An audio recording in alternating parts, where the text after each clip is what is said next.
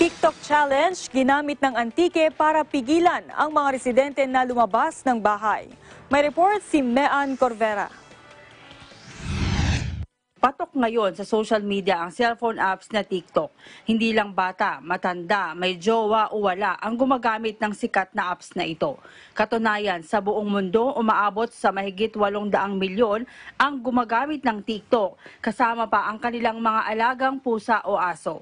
Isang paraan raw ito para ma-relax at mawalang stress, lalo na ngayong may umiiral na quarantine dahil sa COVID-19. Kaya ang local government ng Antique, ginamit na rin ang TikTok apps para mapigilan ang mga residente sa paglabas ng kanilang bahay. Inilunsad ng Antique ang hashtag Stay at Home Antique na TikTok Challenge.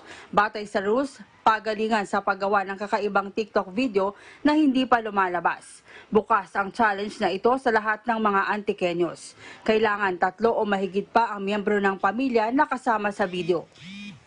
Ang video dapat kinunan sa loob o anumang parte ng bahay kasama na ang garden o garahe. I-disqualify naman ang anumang video na ginawa sa mga public places gaya ng kalsada o public areas. Kapag in-upload, kailangan itong i-public kahit pa sa Facebook account gamit ang hashtag StayAtHomeAntique. Tatlo ang mapipilang pinakamagandang video batay sa criteria na funniest, creative at unique o kakaiba.